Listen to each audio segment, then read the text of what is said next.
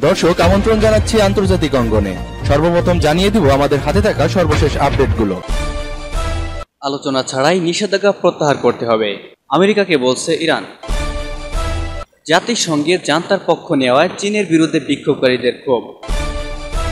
দর্শক আরও জানবেন মধ্যপ্রাচ্যের তালা খুলতে হলে ইরানের কাছ থেকে চাবি নিতে হবে বললেন সালেহ। এদিকে রয়েছে পশ্চিমবঙ্গের ভোটে এগিয়ে মমতার তৃণমূল। দর্শক আরও জানবেন মসজিদুল হারামে অস্ত্রসহ উগ্রবাদী আটক। এছাড়াও জানিয়ে দিব দিদি শুধু খেলা হবে খেলা হবে বলে ভয় দেখাচ্ছেন বললেন অমিত শাহ। সর্বশেষ জানিয়ে দিচ্ছি অবশেষে জান্তা সরকারের বিরুদ্ধে ভারতের নিন্দা। দর্শক এখন জানিয়ে দিব বিস্তারিত। আলোচনা ছাড়াই নিষেধাজ্ঞা প্রত্যাহার করতে হবে আমেরিকাকে বলছে ইরান। ইসলামী প্রজাতন্ত্র ইরান বলেছে, আমেরিকা যেমন কোন রকমের আলোচনা ছাড়াই দু হাজার আঠারো সালে তেহরানের বিরুদ্ধে অবৈধ এক তরফা নিষেধাজ্ঞা আরোপ করেছে, তেমনি এখন আলোচনা ছাড়াই তা প্রত্যাহার করতে হবে। নিষেধাজ্ঞা প্রত্যাহার করা ছাড়া আমেরিকার সঙ্গে তেহরানের কোনো রকমের আলোচনা হবে না। পরমাণু সমঝোতার সঙ্গে সংশ্লিষ্ট একটি সূত্র ইরানের স্যাটেলাইট টেলিভিশন চ্যানেল প্রেস টিভিকে গতকাল একথা বলেছে। ওই সূত্র বলেছে, পরমাণু সমঝোতাকে বের হয়ে যাওয়ার পর আমেরিকা ইরানের বিরুদ্ধে যত নিষেধাজ্ঞা আরোপ করেছে তার সবই প্রত্যাহার করতে হবে। এর ব্যতিক্রম হলে ইরান আমেরিকার সঙ্গে প্রত্যক্ষ বা পরোক্ষ কোনো আলোচনা করবে না। এদিকে ওই সূত্র প্রেস টিভিকে আরও বলেছে, ইরানের ওপর থেকে সমস্ত নিষেধাজ্ঞা প্রত্যাহার এবং ইরানি কর্মকর্তারা তা পরীক্ষা নিরীক্ষা করে দেখার পরই শুধুমাত্র তেহরান পরমাণু সমঝোতার সমস্ত প্রতিশ্রুতি বাস্তবায়ন শুরু করবে বলে গত আটই জানুয়ারি সর্বোচ্চ নেতা আয়তুল্লাহ হিল উজমা খামিনিকে দিক নির্দেশনা দিয়েছেন, তার আলোকেই সবকিছু হবে।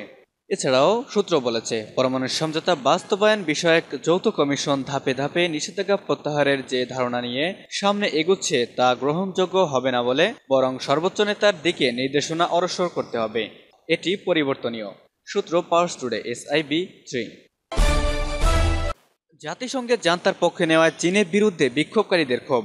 মিয়ানমারের সেনা অভ্যুত্থান বিরোধী বিক্ষোভে বেসামরিক হতাহতের ঘটনায় কঠোর নিন্দা জানিয়েছে জাতিসংঘ নিরাপত্তা পরিষদ। তবে নিরাপত্তা পরিষদের স্থায়ী সদস্য চীনের হস্তক্ষেপে। এই নিন্দা প্রস্তাবের ভাষা নমনীয় করায় এবং জান্তা সরকারের বিরুদ্ধে নিষেধাজ্ঞা প্রস্তাব আরোপে দেশটির বাধায় ক্ষুব্ধ হয়েছে মিয়ানমারের সামরিক জান্তা বিরোধী বিক্ষোভকারীরা। বিক্ষোভকারীরা চীনকে মিয়ানমার থেকে বের হয়ে যাওয়ার আহ্বান জানিয়েছেন। বৃহস্পতিবার ও শুক্রবার জান্তা বিরোধী বিক্ষোভকারীরা, চীন মিয়ানমার থেকে বেরিয়ে যাও, চীনা দূতাবাস দূর হও। আমাদের চীনা দূতাবাসের প্রয়োজন নেই। এখনই মিয়ানমার থেকে বের হয়ে যাও, লিখে সামাজিক যোগাযোগ মাধ্যমে বার্তা দিয়েছেন। এদিকে, এর আগে দুই দিনের আলোচনার পর জাতিসংঘের নিরাপত্তা পরিষদ মিয়ানমারে বেসামরিক হতাহতের ঘটনায় উদ্বেগ জানিয়ে নিন্দা প্রস্তাব আনে। প্রস্তাবে বলা হয়, নিরাপত্তা পরিষদের সদস্যরা ক্রমেই পরিস্থিতির অধগতিতে গভীর উদ্বেগ প্রকাশ করছে।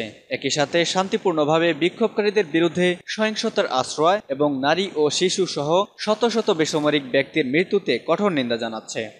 ছাড়াও বার্তা সংস্থা এএপি এর খবরে পাওয়ার এর আগের নিন্দা প্রস্তাবের খসড়ায় পরিস্থিতির ভয়াবহতার পরবর্তী পদক্ষেপের বিবেচনা হিসেবে আন্তর্জাতিক অবরোধের প্রস্তুতির কথা অন্তর্ভুক্ত ছিল। তবে মিয়ানমারের মিত্র চীনের হস্তক্ষেপের নিন্দা প্রস্তাবকে এই কথা বাদ দেওয়া হয় বলে কূটনীতিকরা জানান। অপরদিকে বেইজিং এর জোর দাবিতেই নিন্দা প্রস্তাবে শত শত বেসামরিক ব্যক্তিকে হত্যা শব্দ বলে মৃত্যু করা হয়েছে, জানান কূটনীতিকরা। মধ্যপ্রাচ্যের তালা খুলতে হলে ইরানের কাছ থেকে চাবি নিতে হবে, বললেন সালেহি। ইরানের আণবিক শক্তি সংস্থার প্রধান আলী আকবর সালেহি বলেছেন, তার দেশের পরমাণু সমঝোতা নিয়ে পাশ্চাত্যের সঙ্গে সৃষ্ট অচলাবস্থা কেটে যেতে শুরু করেছে। তিনি আরও বলেছেন, পরমাণু সমঝোতা নিয়ে আলোচনা টেকনিক্যাল পর্যায়ে প্রবেশ করেছে। এর অর্থ হচ্ছে, প্রাথমিক অচলাবস্থা কেটে গেছে যা আশার আলো দেখাচ্ছে। এদিকে সালেহি গতকাল রাতে সামাজিক যোগাযোগ মাধ্যম ক্লাব হাউসকে দেওয়া এক সাক্ষাৎকারে এসব কথা বলেন। তিনি বলেন, আগামী সপ্তাহে ভিয়েনায় আন্তর্জাতিক পরমাণু শক্তি সংস্থা বা আইএই এর সদর দপ্তরে টেকনিক্যাল আলোচনা শুরু হবে।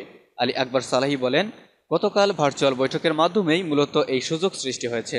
আমেরিকা পরমাণু সমঝোতায় ফিরে আসবে কিনা তা নিয়ে এই কমিশনের একটি ভার্চুয়াল বৈঠকে গতকাল অনুষ্ঠিত হয়েছে।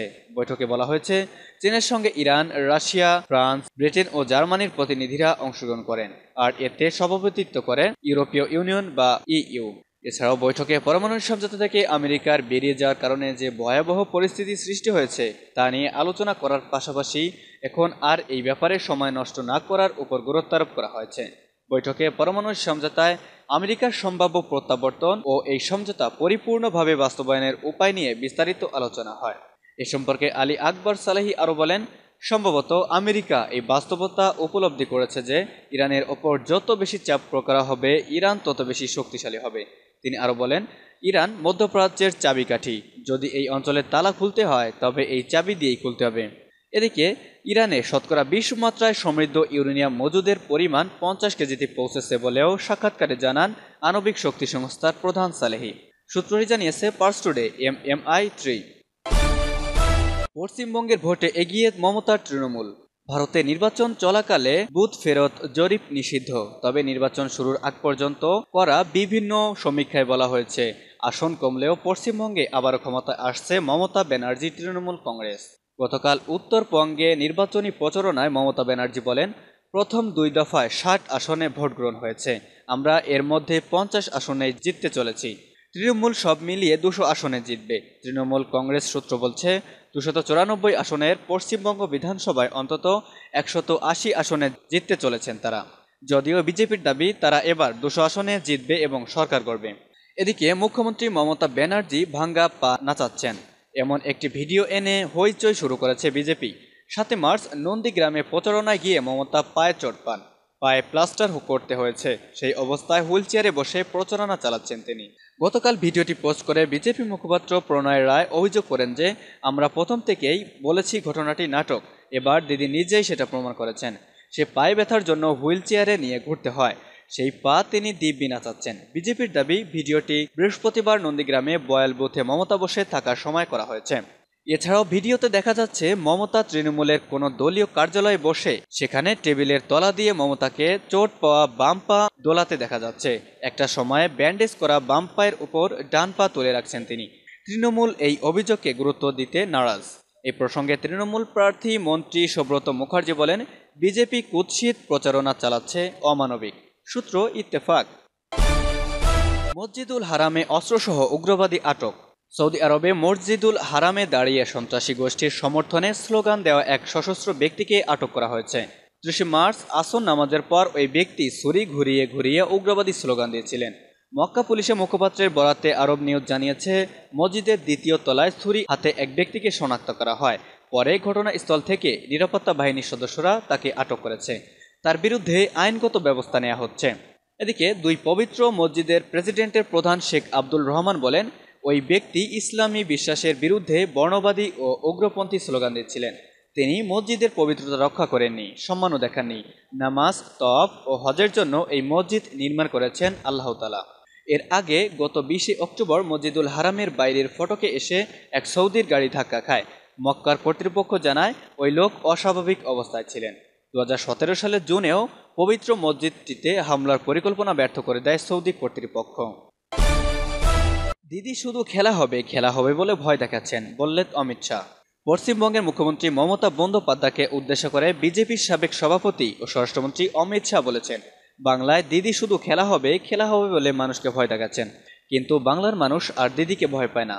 পশ্চিমবঙ্গে বিধানসভা নির্বাচন উপলক্ষে গতকাল দলীয় সমাবেশে বক্তব্য দেওয়ার সময় তিনি ওই মন্তব্য করেন। খবর এনডিটিভির এদিকে বাংলায় বিজেপি সরকার আপনারা গঠন করুন। আমরা এখানে এক নারায়ণী সেনা গঠন করব, যেখানে গোর্খা এবং রাজবংশী যুবকরা চাকরি পাবেন।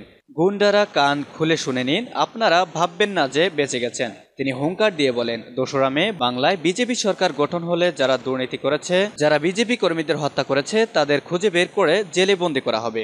এদিকে অমিত শাহ আরও বলেন, দিদির গুন্ডারা চাঁদাবাজি করেছে, সিন্ডিকেট চালিয়েছে, আমফানের পয়সা লুট করেছে, বিজেপির একশত তিরিশ জন কর্মীকে হত্যা করেছে। এসব অন্যায় যারা করেছে, তারা সবাই জেলে থাকবে।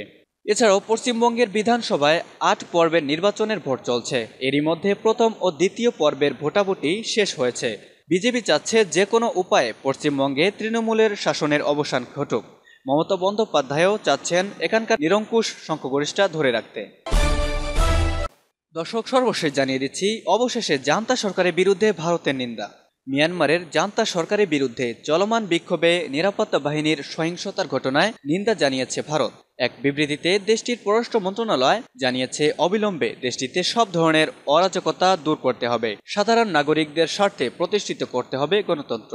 এ সময় আটক নেতাদের মুক্তি দিতে জান্তা সরকারের প্রতি আহ্বান জানানো হয়।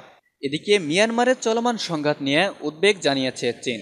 সব দল মিলিয়ে চলমান সমস্যা নিরসনের আহ্বান জানিয়েছে দেশটি। এর মধ্যেও দেশটিতে সামরিক সরকার বিরোধী বিক্ষোভ অব্যাহত আছে। এছাড়াও মিয়ানমারের সেনা অভ্যুত্থানের পর থেকে নিরাপত্তা বাহিনীর গুলিতে এখন পর্যন্ত কমপক্ষে তেতাল্লিশ শিশু নিহত হয়েছে। এই ব্যাপারে উদ্বেগ জানিয়েছে জাতিসংঘ। দেশটিতে ইন্টারনেট সেবা বন্ধ করে দেওয়ার নির্দেশ দিয়েছে জান্তা সরকার। এসবের প্রতিবাদে গেরিলা যুদ্ধের ডাক দিয়েছে দেশটির সাধারণ মানুষ। এছাড়াও গত বৃহস্পতিবার মিয়ানমারে তারবিহীন ইন্টারনেট বন্ধ করার জন্য ইন্টারনেট সেবাদাতা প্রতিষ্ঠানগুলোকে নির্দেশ দেয় মিয়ানমারের সেনা সরকার। আন্তর্জাতিক বার্তা সংস্থা এএপি তাদের এক প্রতিবেদনে এই তথ্য প্রকাশ করে।